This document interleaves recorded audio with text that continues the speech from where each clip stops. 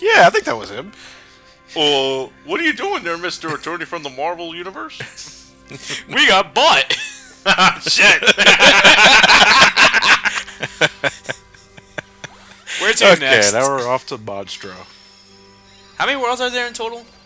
How many worlds were there Pretty much every every world. The only world that doesn't make a return in this game is Tarzan, the Deep Jungle. Oh, It's replaced by one other world, though.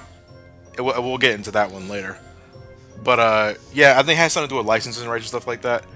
I think it was just because Edgar Allan Burroughs got pissed off with Disney. It's something uh, something of the sort. I uh, I, don't, I think he's dead too. Like, I don't remember the full details, but I know there was a falling out between Touchstone or with Tarzan or the creator, either the intellectual property of Tarzan and Disney, and then they just went, "Fuck it, we're not doing that again."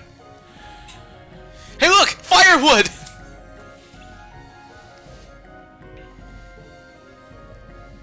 bad interpretation. What's your name? Flame bait? This is a bad interpretation of, a, of the insides of a whale. Those aren't purple. Elliot, how many whales have you been inside? That depends. I'm not talking fact checks. I'm talking whales. I don't know where to follow up with this. It's still a weird. Wait, here's the thing, though.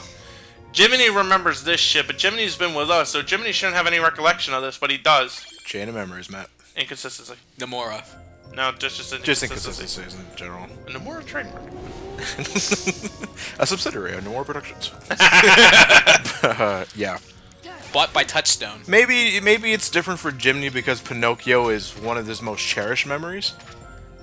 Well, Well, well yeah, you're right, I suppose. No, because this world isn't a fa- this world isn't Jiminy's world. It's a fabrication of our memories. But it's some, but it's a fabrication that belongs to a world that Jiminy is a part of. Nah, I don't buy that. Well, I'm just I'm just bringing it up for the sake of discussion. I mean, I guess, I guess maybe that's legit. I don't know, Nah. but what it's do not like we ever go I to the town that Pinocchio hails from, or Geppetto's. I mean, as maybe if we, if they were in the town, then maybe. By the way, what town was that again? I don't remember the name of it. I only watched the movie like once. It's, uh, same here. The Yellow Nocturnes, if you can win the, the Yellow Monsters. I don't remember the fucking musical name they are. Anyway, if you manage to kill them, you can get Thunder Boost for an enemy card. The large bodies give you something called Frontal Guard, which basically um, makes you immortal to all frontal attacks. I forget what the air soldiers give you though. Red Nocturne, Blue Rhapsody, Yellow, well, Green Requiem. Green and- Opera.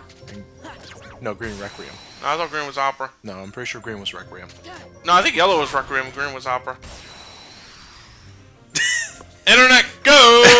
Yellow Yellow Overture, yellow what? Yellow Yellow Concerto, Yellow waltz. Yellow Treble, Yellow Bass.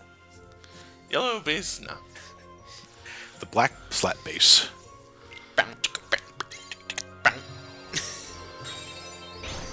The orange Seinfeld theme.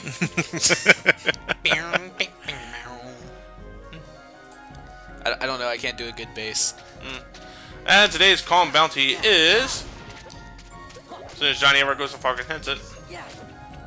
Red Nocturnes, Blue Rhapsodies, Yellow Operas, and Green Requiems. I was right. Oh, well, fuck me one.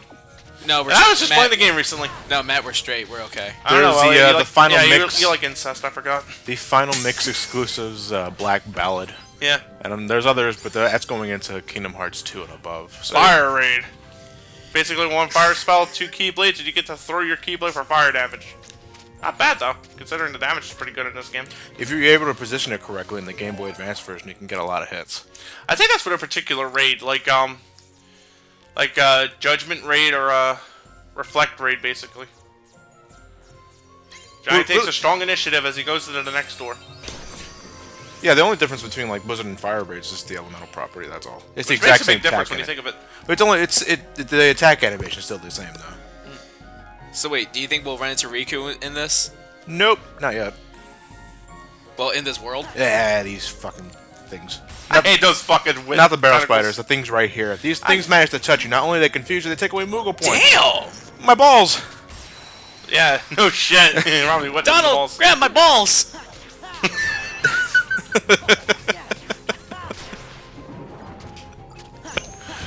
I don't think so, Sora. I'll take things that sound wrong out of context with 300, Alex. Holy shit, that's a daily fucking double. Anyway, Why- search ghosts. Wait, why do you keep doing that when you're when you're bring when you're summoning? What do you Because you can this way you can actually you can, this way you can preserve your cloud cards. Yeah, w- w- every, the first card you use in a sleight disappears after you use it. So I usually reserve that for friend cards. If you use cards that are two or more, if you're going to use one of those three power cards, one of them's got to go the way of the Dota. Pretty much. Unless, at Unless least, you have, at least like, until uh, Johnny gets an elixir. Or yeah, Mega unless you get the uh, the item restored cards. right. We got premium room. Premium cards I've been coming into, I've been falling in love with since I since I decided to play this game again myself. I know if you if you know exactly how to use the cards just right, premium cards could be the make or break thing for you. Premium, premium. I just don't like the whole one and done aspect of them. No, because here's the thing though, you can use premium cards in the middle of a slate as well, and they will get reloaded if you do it that way. I just found that out myself. So you can put the premiums in your. In your You can put the premium in the middle. Like for example, let's say you got a premium card, uh, Fire Four. Oh, If you have a if you have a slate of five, four, and six, and the four was the premium card, the four gets saved. even though that goes against the rules of the premium card, No, the premium card only works if you play it. It only gets one and done if you like use it right up front. just like an attack. right. If you use it in the middle of a slate or the end of a slate, you'll get it back when you reload. I'll keep that in mind for uh, future recording sessions. Or if you want, you can experiment with it just as soon as you get off of this. You know, just take a premium card, fuck with it for a bit. I know I'm saying, but there's a lot of times what, what you guys are not seeing here when we're recording. Well, no, when I'm recording is a lot of experimentation and back and forth in previous worlds. Either because I'm trying to build up Moogle points, experience in general, or I'm looking for a specific enemy card. And with the case of the Barrel Spider, those who follow me on Facebook would know I spent two hours looking for that fucking son of a bitch. While looking for a cloud card. Yeah, I end up getting both. Oh, I was close to getting a. Oh, that's another thing that I, I knew I was one thing I wanted to bring up.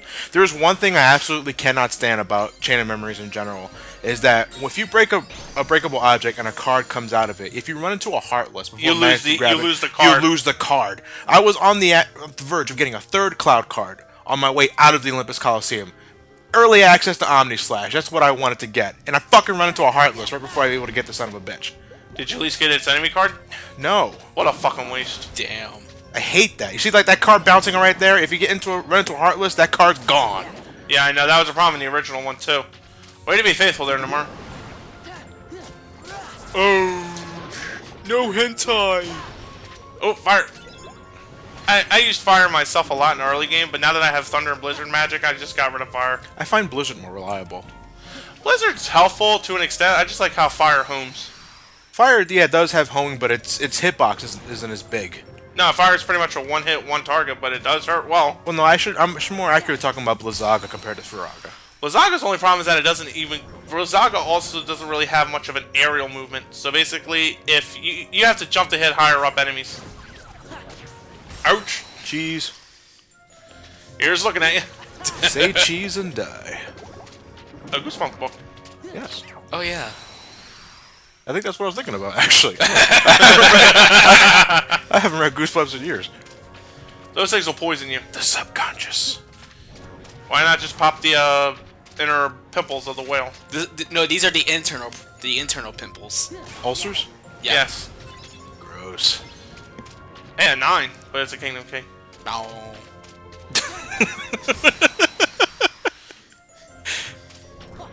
The only good thing about the Kingdom Key later on is that it's cheap, Yeah, that's the only thing it has going for it nowadays. Is it's cheap. which means it's an impromptu zero card if you won't really care about zeros for their attacks. It's uh, true enough. I think at this point, uh, this recording, my deck already has like two zero cards, and they're both Kingdom Keys. So yeah, they're very economical in that aspect. Now you need a combination of 20. And unless I'm going for a specific slate, I never use zero cards in a combination. They're strictly combo breakers. And Johnny contemplates, do I want to use all those? Which one is important to me? Honestly, I was at a point, one point in my game where I just started getting rid of calm bounty cards because I was sick of them. you do get a lot of them. I know, but they're only good for like the first room you go in, and then that's it. As of that, it's Blizzard, Fire. I try. I try to make at least one room uh, in every world a combine room, just to see what you can get in that specific world. Right. Like I would do in this game, I think in here you get gravity. Man, this whale's fucked up. It has wood everywhere. I think there's a splinter. No wonder why it's pissed. And its mouth is directly behind its bowels. How about that shit? God doesn't exist, old man. Tell me about it. Nobody wanted me. I have to have a puppet for a son and a cricket for its conscience. and now I exiled myself in this whale. There is no god. And then I got eaten by a whale of all things. I mean, fucking really? What are the odds of that? A giant interdimensional space whale ate me and my damn puppet, Well, Geppetto, if I were to alliterate, and my pants are too tight. I mean, Jesus Christ, kid, these things really ride up there. But your socks... I constantly reach for that wedgie, but it doesn't come out. but your socks complement the pants. Ah, big fucking deal. It don't mean nothing when my balls are riding so goddamn high up. I'm surprised they're not cheap and blue. But what about your glasses? Don't you need bigger ones? Ah, the glasses are really kind of a small problem at this point. So you're just focused on the balls chafing on your front. Wouldn't you? That hurts.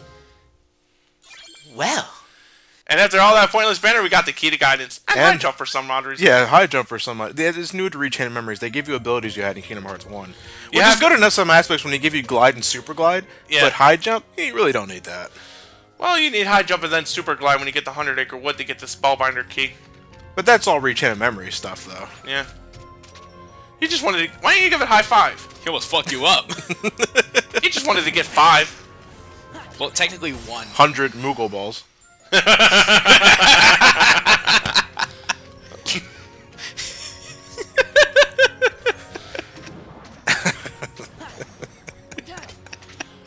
I would like to point out that, what aside from Johnny, like whenever I leave a world, I'm like 10 levels or 5 or 10 levels higher because I just kill everything.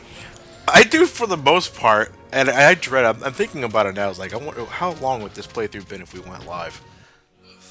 700 parts. Yeah, I was like, I would. Well, that's exa- exaggeration, obviously, but compared to a Kingdom Hearts one, where we didn't really edit out a lot of battles, we edited out like backtracking and stuff like that, but that was still 60 parts. Yeah. And Chain of Memories. So wait till cha- wait till Kingdom Hearts 2 because I'm I going know. after everything, and one of them requires me to get Sora up to 99. Oh, Two is going to be a marathon. especially with Final Mix because I have because unlike vanilla Kingdom Hearts 2, which I am relatively well versed in, Kingdom Hearts 2 Final Mix is practically a whole new fucking game. Yeah. Christ. I, I've like I, I looked at the, the version differences and changes like on, on wikis and stuff like that. And I was like, this is completely different. It is. That they Terra's gonna whip my fucking ass. they added so many things for Final like f- the two Final Mix in particular got a lot more changes than what one Final Mix got. All the abilities are reorganized. All the um, there's new Heartless items, new organization weapons. Hell, there's even some new Heartless in the later game, and you just got whip stung. They also confuse you when they hit you, hence the question marks on top of your head. Your controls are reversed when that happens. I just thought they gave Sora a really hard math question. Multiple choice, this ain't. Name the three types of triangles. uh, uh, uh, uh. Isosceles. Isosceles. Isosceles. Isosceles. No, I was pretending I was Sora. There's the isosceles, the right triangle. And the other one.